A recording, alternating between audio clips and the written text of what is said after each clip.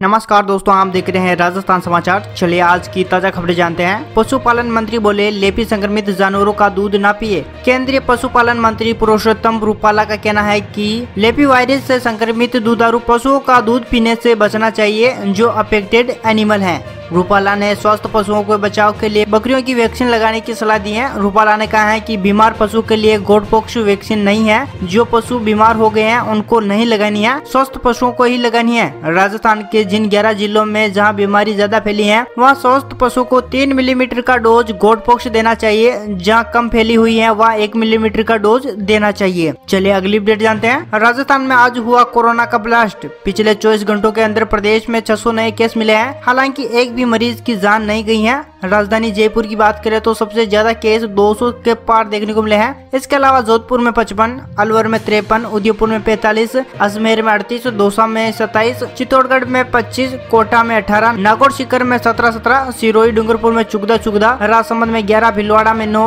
जैसलमेर में आठ बीकानेर और धौलपुर झालावाड़ में सात सात केस मिले हैं। बाड़मेर में चार बांसवाड़ा सवाईमाधोपुर में तीन तीन और पाली हनुमानगढ़ चूरू और भरतपुर में एक एक केस मिला है। दोस्तों इन जिलों में से आपका जिला कौन सा है कमेंट के माध्यम से ज़रूर बताएँ। चलिए, अगली बड़ी खबर जानते हैं। उपराष्ट्रपति चुनाव में धनखड़ की बड़ी जीत। जगदीप धनखड़े देश के चुगदुए उपराष्ट्रपति होंगे। एनडीए उम्मीदवार धनखड़े के विपक्ष की पूर्व में राजस्थान गवर्नर रही। मार्गरेट वोल्वो को हराया है। शनिवार को वोटिंग की शुरुआत सुबह दस बजे हुई थी। शाम छह बजे से काउंसलिंग शुरू हुई। साढ़े सात बजे रिज़ल्ट आया। धनखड़े को पाँच सौ अट्ठाईस वोट मिले हैं, जबकि विपक्षी पार्टी को एक सौ बयासी वोट मिले हैं, जबकि पंद्रह वोट अनवेलिटेड रहे जगदीप धनखड़े ग्यारह अगस्त को उपराष्ट्रपति पद की शपथ लेंगे। उपराष्ट्रपति वेंकैया नायडू का कार्यकाल 10 अगस्त को खत्म होने जा रहा है। चलिए अगली अपडेट जानते हैं। बेटे की चाहत में बच्चे को किया था किडनैप। राजस्थान के सबसे बड़े एसएमएस हॉस्पिटल में चार महीने का बच्चा दिव्यांश चोरी करने वाला शनिवार को जयपुर के मानसरोड से पकड़ा गया। आरोपी की चार बेटियाँ थी। बेटा नहीं होने के कारण उसने दिव्यांश को किडनैप किया था। आरोपी के घर पुलिस पहुँची तो उसकी माँ और पत्नी की गोद में बच्चा खेलता मिला। पुलिस ने सीसीटीवी फुटेज का आधार पर आरोपी का हुलिया जारी किया था। इसके अलावा एमपी यूपी तक टीमें भेजी गई थी। एसएमएस हॉस्पिटल थाना पुलिस फ़िलहाल उससे पूछताछ कर रही है। चले दोस्तों, अगली खबर जानते हैं। अगले चार दिन हो सकती है। प्रदेश में अच्छी बारिश, मौसम वैज्ञानिकों के मुताबिक रविवार को उत्तर पश्चिम बंगाल की खाड़ी में एक लो प्रेशर सिस्टम डेवलप होगा, जिसके असर ऐसी अगले चार दिन तक राज्य के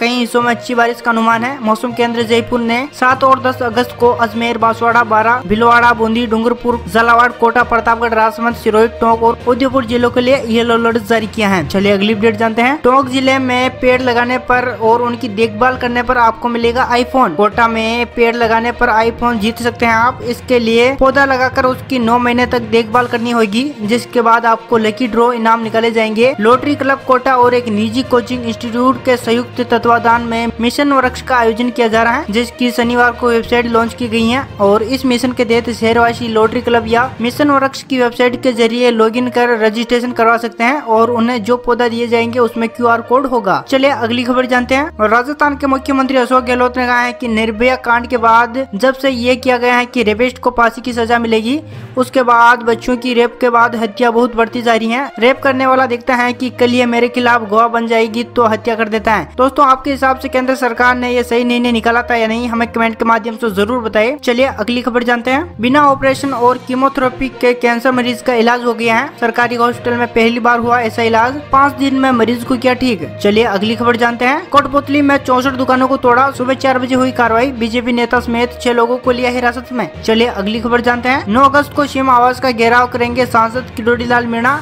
आरसीपी की मांग को लेकर सांसद किरोड़ी लाल के नेतृत्व में एक लाख लोग जयपुर की ओर कुंज करेंगे। दोस्तों, ये थी राजस्थान की आज की ताज़ा खबरें। ऐसी ही खबरें जानने के लिए अभी करें राजस्थान समाचार को सब्सक्राइब। और आप राजस्थान के किस ज़िले से वीडियो को देख रहे हैं, अपने ज़िले का नाम इस वीडियो के कमेंट बॉक्स में ज़रूर बताए। और आप राजस्थान समाचार में नए आए तो राजस्थान समाचार को सब्सक्राइब ज़रूर कीजिए। जय हिंद, जय भारत, वंदे मातरम।